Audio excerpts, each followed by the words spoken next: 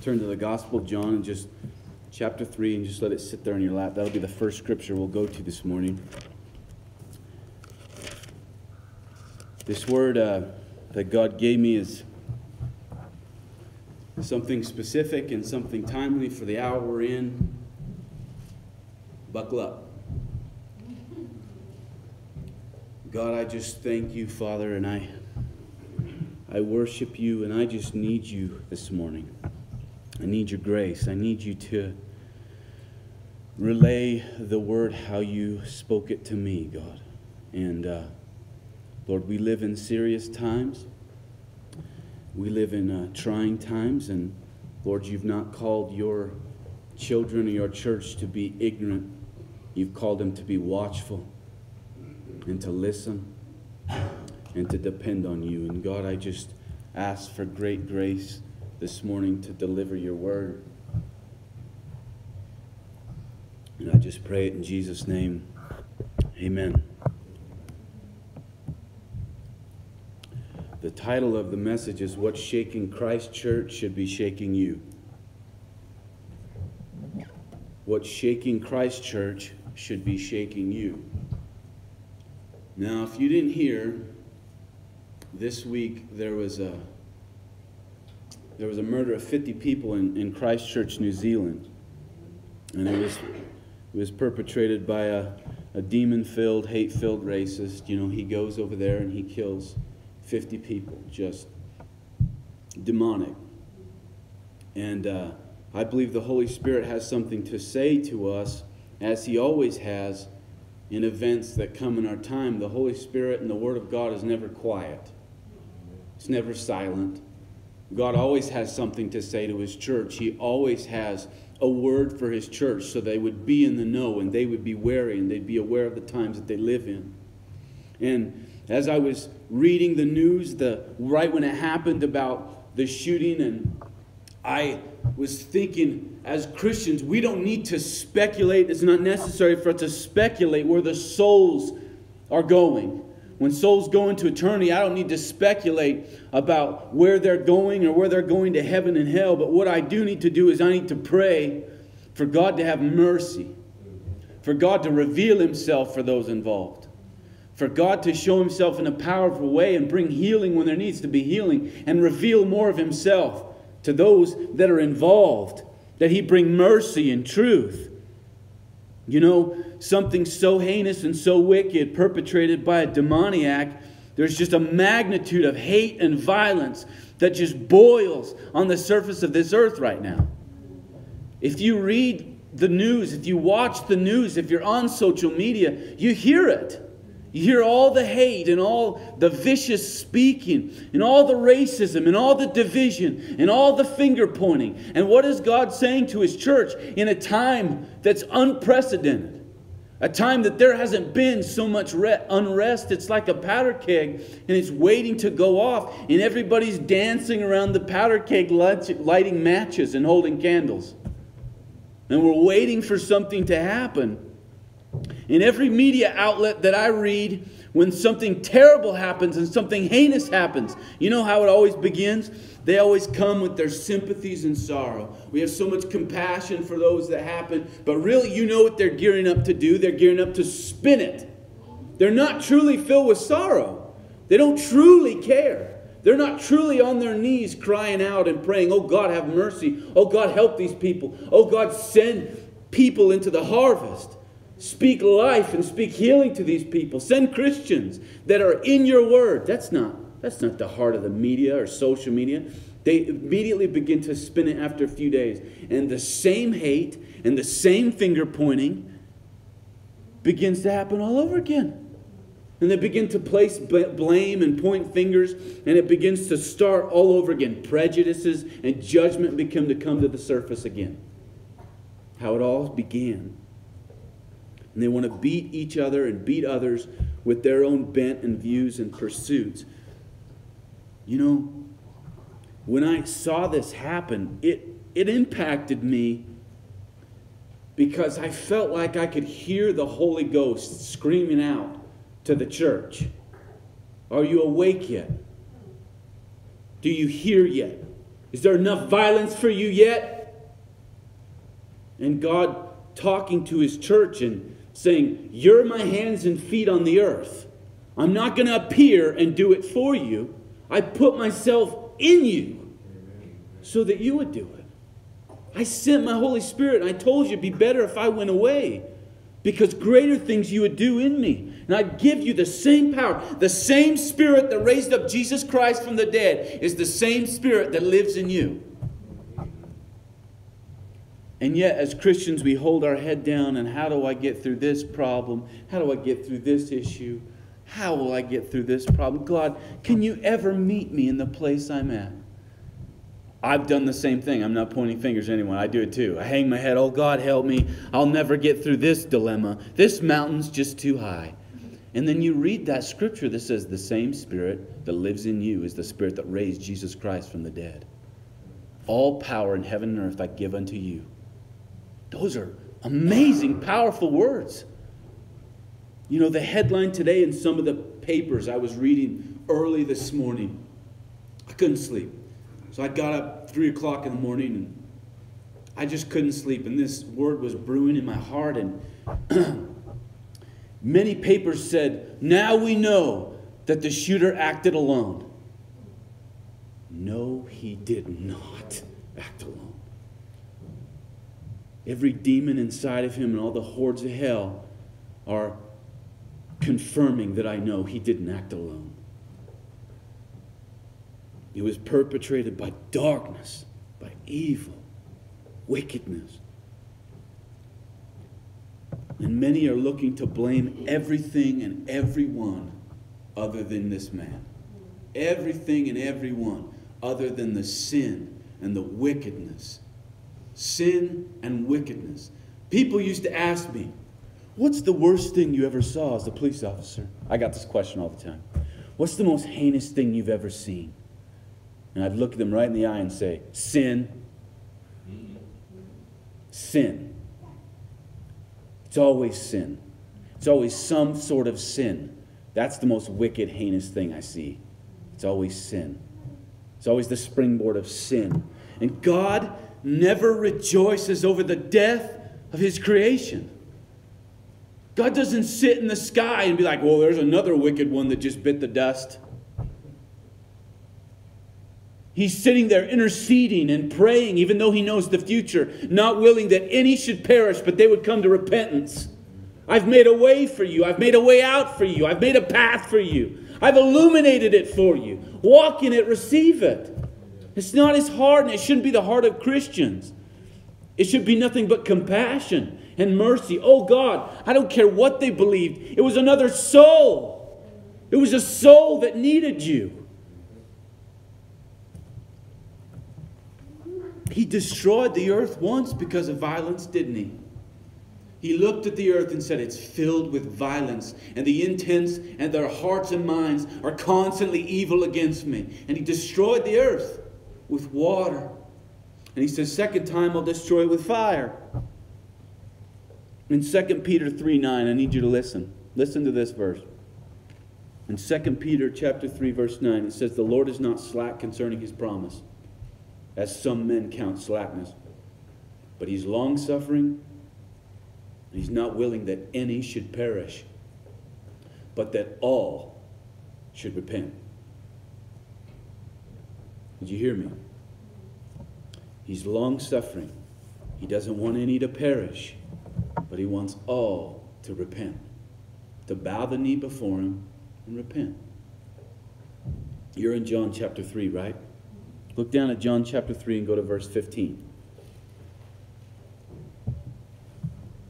John chapter 3, verse 15. And whosoever believeth in him should not perish but have eternal life. And then John 3:16 says, For God so loved the world that he gave his only begotten Son, that whoever believes in him should not perish but have everlasting life. And Christians love to stop there, but every time I read my Bible, it's never stopped there. He says in verse 17, For God sent his Son into the world not to condemn the world, but through him it might be saved. And wouldn't you know it, the Holy Spirit keeps speaking. And he believes on him is not condemned. But he that doesn't believe is condemned already because he's not believed in the name of the only begotten Son of God. And he comes and he says, This is the condemnation that there was light that came in the world. Jesus Christ came into the world. And men loved darkness rather than light because their deeds were evil. And he says, For everyone that does evil hates light. They don't come to the light, lest their deeds would be reproved, or in some translations, exposed by light. And Jesus is saying, He's saying, I didn't come to point the finger and condemn. I came to reach out my hand and pull you out of the muck and the mire and the quicksand you're in. That's why I came. But many and most will not reach out and grab my hand because they love their darkness. And I don't have to condemn them because they're already condemned. They won't reach out and take the hand.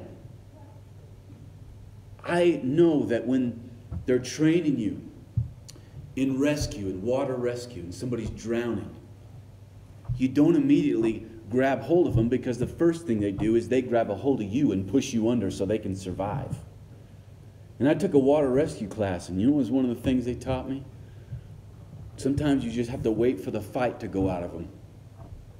And then grab them by the hair and drag them in. God is so compassionate and merciful, sometimes He waits for the fight to go out of people. Right? He is such a gentleman and merciful. All the batting the air and the fighting and the running after the world. And then when you hit rock bottom, man, that hand looks really good reaching down to you, doesn't it? But there are some that won't do it. You see, they're of their father, the devil. Jesus looked at many. He said, You're of your father, the devil and the deeds of your fathers, what you do. And there are some on this earth that they practice evil, they continue in evil. We see them living in darkness. They run from the light like cockroaches, and this atrocity is committed by demons in the heart and demons in the mind. You think this popped up? No, this was in his heart for years. It was vile wickedness in this man's heart, growing and metastasizing and feeding hate and vengeance and demons speaking to him, brooding and it's the same with people in the world. There's manifold millions that have wickedness in their heart. And what's God saying? He's saying, repent. Just repent. Reach out and take the hand I gave you. Repent. You know, and the church is so complicit because the church is so lazy, so fat and comfortable and dozing all the time. It's like we're hands off. Well, I don't get my hands dirty. I don't want to offend anybody. I don't want to say that I have a standard. I don't want to push anybody away. Well, why don't you push them away from hell? Stand up and speak the truth. Because you know what? There's a worm that'll come in your conscience and won't go away. You live in sin and somebody speaks truth to you. Guess what? It keeps you up at night. You start thinking about what that person says. They spoke truth to you and it doesn't go away because truth doesn't die. Amen. Truth doesn't die. Jesus said, I'm the way, the truth, and the life, and it doesn't go away. Truth will always triumph over a lie.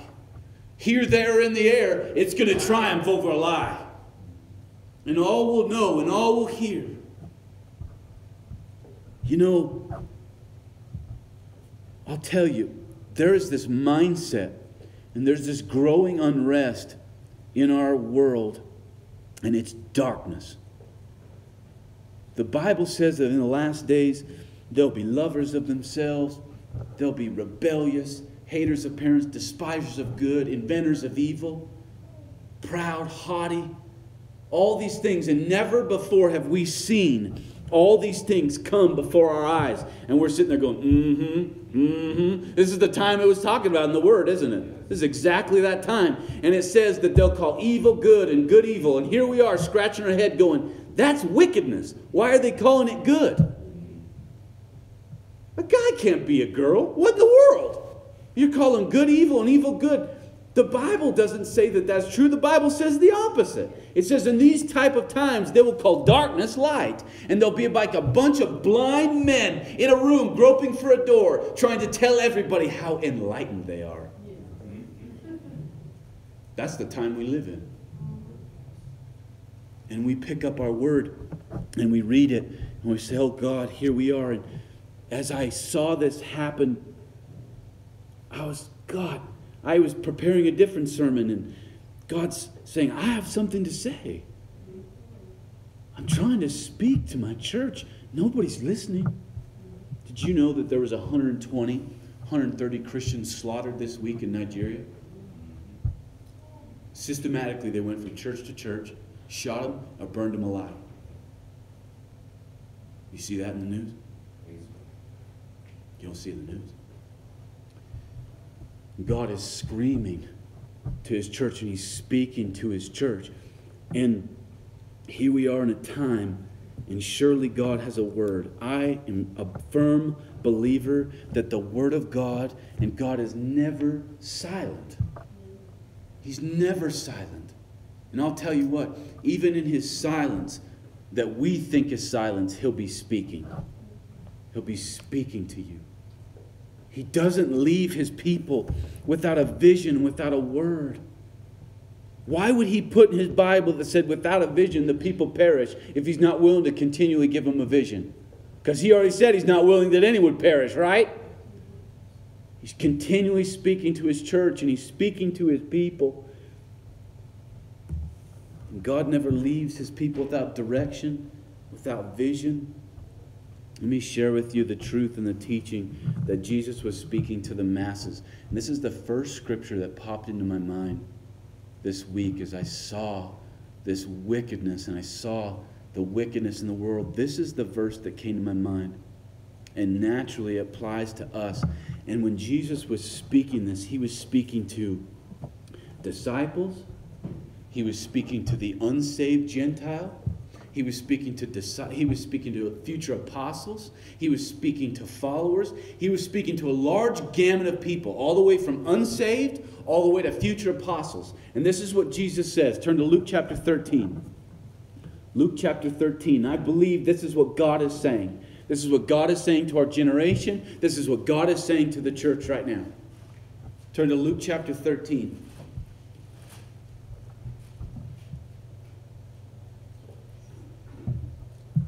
And in Luke chapter 13, look there. Go to verse 2. In Luke 13, 2, Jesus answers and he says to them, Do you suppose that these Galileans were sinners above all Galileans because they suffered these things? So I tell you, no. Except you repent, you will likewise perish. And he says, On those 18 upon which the, the tower of Siloam fell and it killed them, do you think that they were sinners above all other people in Jerusalem? He says, I tell you no. But if you don't repent, you likewise will perish. And I feel that echoing in my heart from the Lord. Saying, You see these heinous acts happening, you see the violence, you see the wickedness, you think it's being perpetrated on just really terrible people? No, God saying, No. But unless you repent in the Spirit, you will perish in the Spirit just like these people. You too will die. You too, America, will die if you don't repent. You think just all these wicked and horrible things are happening to people because they were terrible people? He says, No. But if you don't repent, and if you don't change, and if you don't get right with me, and if you don't get on your knees, and if you don't take this serious, you'll die too. You're going to die. You know, never before has the church been so full of games and so full of lack of seriousness and lack of direction and lack of taking his word at what it says.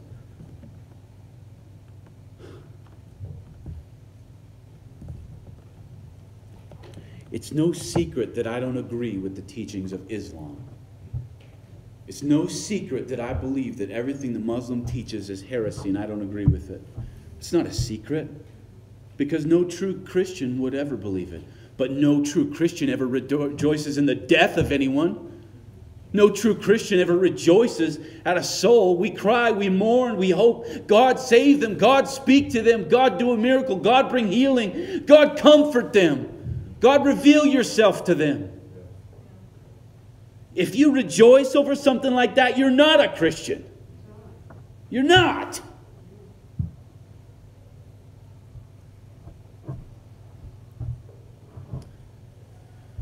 You know, you should be praying for those families, praying for those in need, and praying for the ones here that are in need. Healing, that those that are in darkness would have light. Because never before have we lived in such darkness. Darkness. Darkness. Gross darkness. In hell, it says there will be a darkness that can be felt. It'll be so dark you'll be able to touch it. And you know what sin is? You know what the, the exceeding sinfulness of sin is? It's a foretaste of that place. It's a little taste of what's to come for those that go to hell. Torment. Sin doesn't give you pleasure. Sin will come and hook you. It'll thrill you and kill you. It'll come and entice you and then assassinate you. That's what sin does. And that's what we read about. You know, and there you are in Luke chapter 13, and Jesus goes on and he says, Until, unless you repent, you likewise will perish. And then he goes on and he says, I'm going to give you an example. I'm going to give you a parable. He said, A certain man had a fig tree planted in his vineyard. And he came and he sought fruit on it, and he didn't find any. And he said to the dresser of the vineyard, he said, Behold, for three years I've been coming looking for fruit on this fig tree, and I can't find any. Cut it down. Why is it wasting my soil? Cut it down. And he answered and he said, Lord, let it alone for one more year. He said, I'll dig it and I'll fertilize it and I'll tend it and I'll water it one more year. And then if it doesn't bear fruit, then you can cut it down. Isn't it amazing how God follows up with this example? After he says, If you don't repent, you'll die. If you don't repent, you'll perish. And then he gives the example of someone who's not repenting, someone who's not bearing fruit. And then somebody comes and intercedes and says, Just wait. Don't, don't kill it yet. Don't cut it down yet. God, have mercy on our nation just a little bit longer. God, have mercy on your church just a little bit longer. Have mercy on these sinners I know just a little bit longer. God, let me dig in. Let me pray. Let me fertilize this soil. Let me dig in. Let me speak into their life. Let me trust you a little bit longer for what you want to do. It's powerful. Because now it's the same for our nation, it's the same for so many that you know. The keeper of this vineyard, he's surveying those around him. And he's crying out, God, wait. God, wait. Wait just a little bit longer. Let me pray. Let me fast. Let me sacrifice. Let me see if anything can be done. And I believe that's where we are as a nation. I believe that's where we are as a church for people in our community. God, wait. God, just let me pray. Let me fast. Let me trust you a little bit longer. I look at the earth, how much more violence has to go on? How much more hate? You know, there's murder in people's hearts. You watch the news, you listen to debates, you listen to this person on this side, this person on this side of the aisle. There's nothing but murder in their heart for one another. Hate. Just hate. And as a church, as a body of Christ, we're the ones that have to stand up and say, just a little bit longer. Just wait. And God is also saying, You repent. And I was thinking about this word, going, God, aren't I preaching to the choir? Why would I be telling a bunch of people that love you to repent?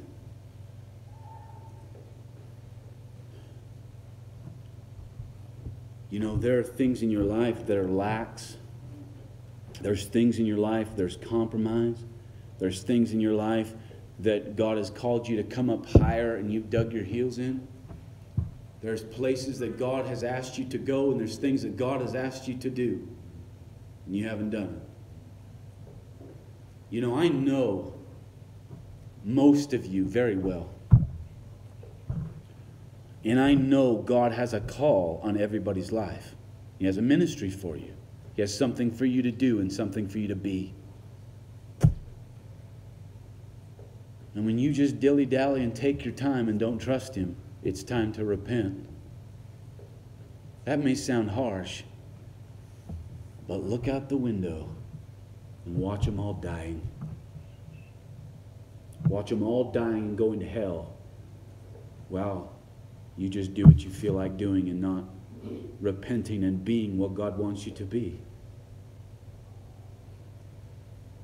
You know, all the pearls of wisdom and truth he entrusted to you and I. Are you such a miser that you would hoard it from the world? When hands and people are screaming out for truth, give me what you have. And so many churches just shut their door. So many churches might as well just lock their door when they start because nobody's allowed to come in. Nobody's allowed to hear. Nobody's allowed to change. We don't want the power to go out those doors and change people. You might as well just put a little padlock on your heart. When people are dying going to hell and there's violence and there's hate, the Bible says a kind word turns away wrath. You know how many times I've had people get in my face and swear at me, swear at me, call me names, and I just get right back in their face and say, God has a plan for you. God loves you. I remember one time, you know, big old DOC guy, tats, you know, ready to throw down. God has a plan for you, and you just stop running. Ah! They start crying.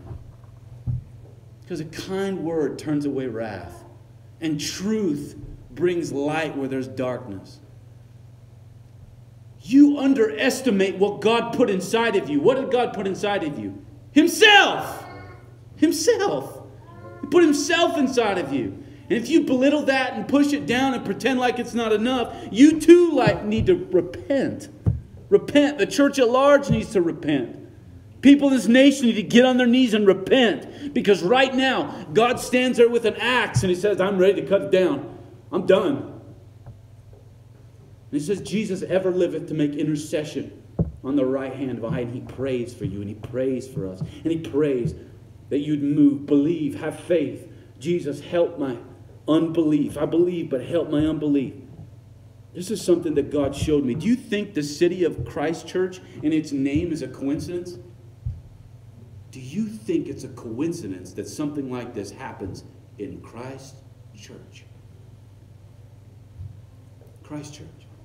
It was named for Christ Church College in Oxford. It was named because they wanted churches to go forth and the gospel to go forth in that town when it was small in the late 1800s. They named it because they wanted God to be glorified. And in 2012, what happens to Christ Church? An earthquake kills 185 people dead in a moment. And then seven years later, you have a shooting and 50 people are murdered in Christ's church. What else does God have to say to his church? How much more does he have to shake it to try to get it awake? You're wrong if you think it's a coincidence. You're wrong if you think it's a coincidence that most of the top 10 most wicked, most death toll shootings have transpired in our lifetime. They happened in our lifetime. And people get so calloused and used to watching it. I was amazed at the news. Two, three days passed, and all of a sudden we're talking about what celebrities are wearing. And 50 people are just murdered and they don't care, they just move on. They just move right on. You have the shooting in Orlando. You have all the major shootings. You have people killing people in France. Remember when they came and killed almost 150 people? And we watch it happen around the globe, and God is trying to shake his church because they're asleep in the light. Comfortable. Comfortable in the light. It's not a coincidence. He calls to the Christian to stop playing, stop pretending, and just get right with me. There are so many people in churches that just need to get down on their knees and repent. Say, God, forgive me for being lax. God, forgive me for being lazy. Forgive me for belittling the power that you put inside of me. The power you put inside of me. You think that He reserved all that power just for 12 disciples? You think all those miracles and everything he told them was just for that time? If he did it for them, he'll do it for you. If he did it for them, he'll do it for you. You know how many times I've prayed that when I got into my Bible? You did it for them, you'll do it for me. You're not a respecter of persons.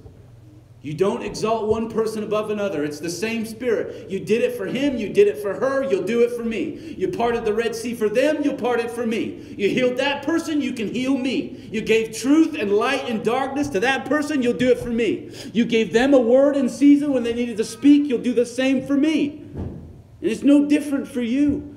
God is crying out. He's telling his people, he's telling his church, repent. Unless you repent, you likewise will perish. Look at that. Look how evil it is. Look at the wickedness. Look at how it's unchecked.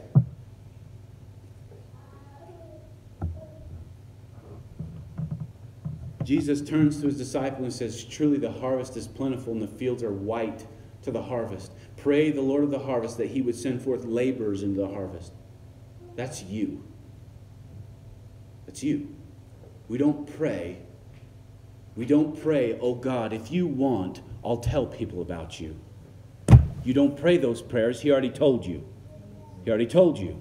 God, I pray you send laborers in the harvest. And the Holy Spirit's going, That's you, sport. That's you. You are the laborer.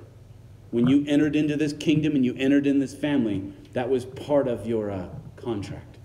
You are a laborer. You are a carrier of truth and light and power. And you speak. It's you. You're my servant.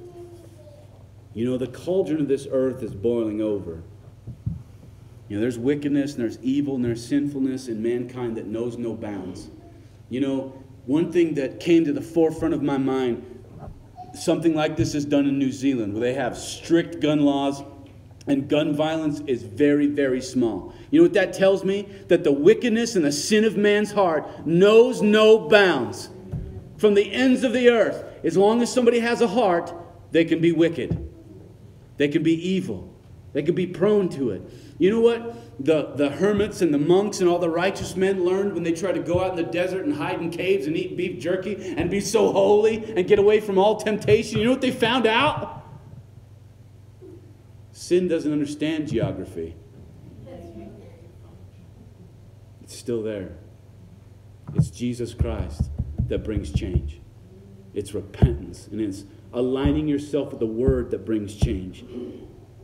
You know, we see it increasing. One, my favorite pastor and mentor in, in Mesa, Arizona, for many, many years, he said that prophecy is age long, it's absolute, and it accelerates.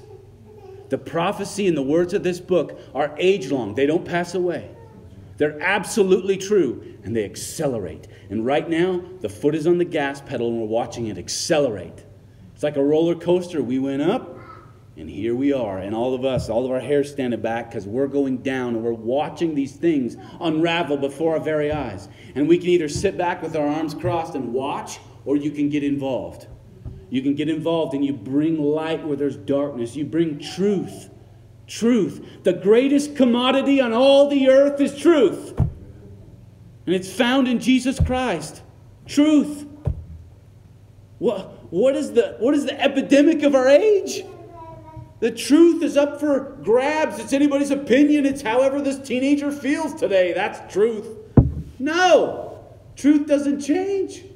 I have two daughters. I know what that's like. You know, I feel this way today. I don't care. The truth is, I said, get your act together. There's consequences. Truth. Truth. And God stands at the door of people's hearts and he knocks. And you know that's why this church prays on wednesday night because god is telling this earth repent repent repent. And he's telling his church pray pray pray pray pray pray. These things don't change. They don't come to pass unless you pray unless you sacrifice. You know what? Maybe you need to skip a few meals. Fast pray. Deny yourself pray that god will do what he said he would do That'll bring to pass what he said that he would bring to pass. It's a call to the church. It's a call to many churches to repent. Get on your knees, beat on the door that he said would, he would open. Look hard and seek, for he said that you would find. He said, Ask loudly with faith, and if you ask, I'll give it to you. That's what he says in the Word. As I wrote this, I was, we were at men's meeting yesterday, fellowshipping downstairs, and I was joking with one of the brothers, and I said, You know, I'd love to just tell everybody it's your best life now health, wealth, and happiness, just blessings.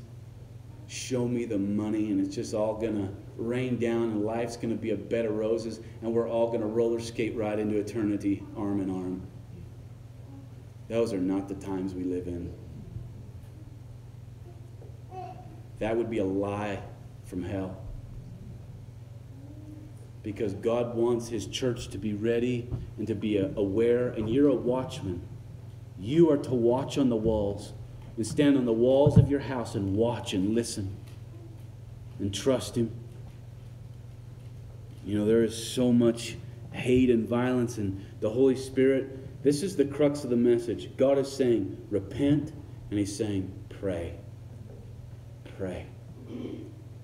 Church, if you've never done it before, you need to do it now. You need to pray. You need to pray the Lord of the harvest that He would hold His hand back and He would bring, here comes the R word, prepare yourself, that He would bring revival. Amen. That He would bring revival in people's hearts. And you know where revival starts? It starts with one person, it starts with individuals surrendering and bowing their knee and repenting and getting right with Him. That's where revival starts. Revival doesn't start in groups, it starts with individuals surrendering and prostrating themselves before the Lord in repentance and tears, saying, I'm sorry. You have to change me. And when a group of those kind of people get together, things begin to happen. And hell gets pushed back, and darkness gets pushed back, and people begin to change. And then there's power. But we don't have that. The vast majority, it's not there.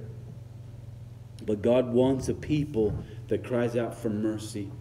Mercy for those involved. He wants people that take it seriously, people that cry out, people that repent. This is my last scripture. And I just want you to listen. I just want you to hear this last scripture. These are the scriptures that come before Joel saying, In the last days I'll pour out my spirit. Your sons and daughters, your old men, and I'll do a new thing and a powerful thing. And we love as Pentecostals to quote those kind of verses, don't we? God's going to pour out. Oh, he's going to do something powerful. Dreams, and he's going to speak. But what are the verses that come before?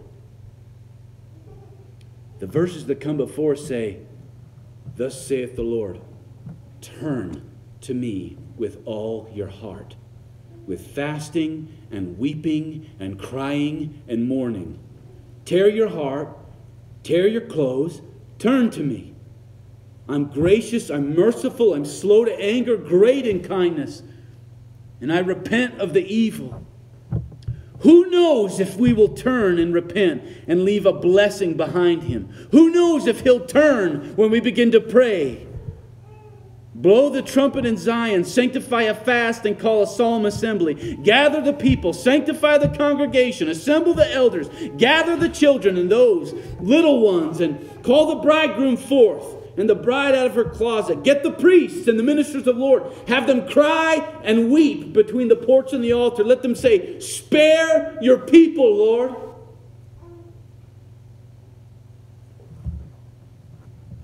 Don't give reproach that all the heathen and all the wicked of the world would look and they would say, Where's their God?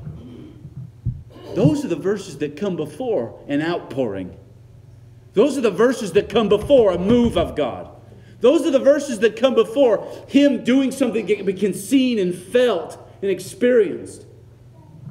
We don't quote those ones. But there will be no change in this nation, and there will be no change in the church at large unless we start reading those verses first and acting on them. It's horrible what happened in Christchurch. It's terrible. It's horrifying. when we mourn and we cry with them. Just because I don't agree and I think it's absolute horrible what Muslims believe and teach. Doesn't mean I wouldn't have a friend that's a Muslim. Doesn't mean I wouldn't go out to eat with them. Doesn't mean I wouldn't come and speak to them about what I believe. Why not? I still love them. I still love them. I'd still lay down my life for them, wouldn't I? There's no greater love than a man lay his life down for somebody. Jesus didn't say there's no greater love that he lay his life down for somebody that loves him more. He said there's no greater love that he would lay his life down for a friend. Just a friend. Just a friend. You know, I know it's it's a it's a heavier word this morning, and my my tendency and my inclination as a pastor is to try to soften the blow. But I'm not gonna. That's what I want to do. I want to come and, but it'll be okay. And you, no. That's what the Lord wanted to say. And if you find yourself in that place of lax, you need to get right so that you can be useful.